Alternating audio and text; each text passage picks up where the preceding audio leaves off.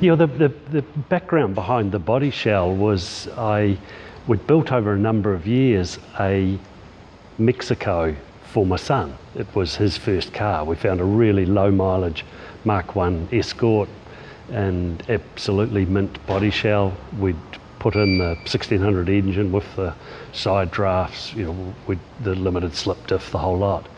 Um, when he moved on from that, I actually brought that car back back off him, and that was going to be what this car was built out of.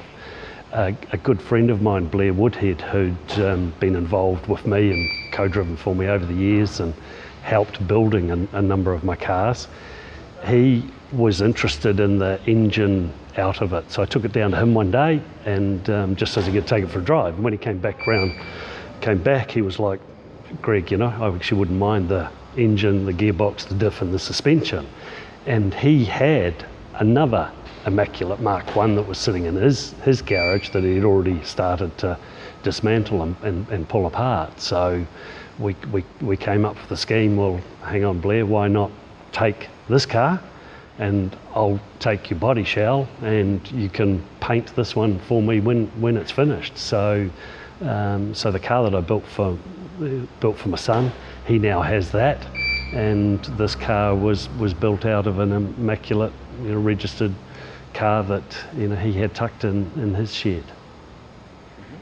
So the, the, the original, original concept to build a, a, a BDA was um, Neil and uh, Neil Allport and myself, who both you know, shared a passion for the, uh, the early Ford Works cars, we'd come up with a, a, great idea that we'd build one and go halves. Um, and that was probably very early in the 2000s. And um, we did, in fact, go and we brought a donor car. We found a, a you know a, a, good shell to, to base it on. Um, that that project started, but as we got into it, it was sort of the writing was on the wall. Really, one car between the two of us wasn't going to work. So uh, Neil carried on with that project, and that is the car that he got on the road some 12 or 18 months ago. And then separately, I started this project. The Targa I've only I competed it once in, in 1996, back in the days when I had a Laser TX3i four-wheel drive rally car. Uh, it was a successful event for us. We did win our, our category. Um, not my most favourite bit of motorsport I, I did because back in those days you had a target time and if you exceeded that, if you bet that target time you weren't rewarded, you weren't rewarded with the time. So I, I, found it frustrating when I'd driven my heart out and you know put a good stage, but it was you know, it was five seconds under the target time, and, and that's that's all you were given.